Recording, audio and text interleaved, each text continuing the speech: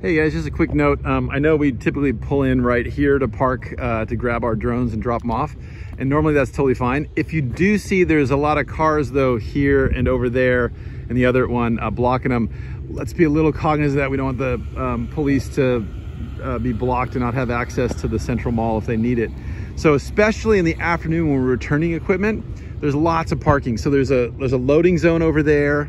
Um, there's oftentimes, by the time our class is over, there's an extra spot here that's open to anybody. There's faculty, there's excuse me, um, spaces inside. There are some faculty spots, but there's also open spaces.